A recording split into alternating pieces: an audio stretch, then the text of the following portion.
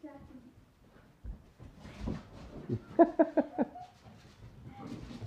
wants to tackle him. she wants to play with him. Wants to follow you. Uh,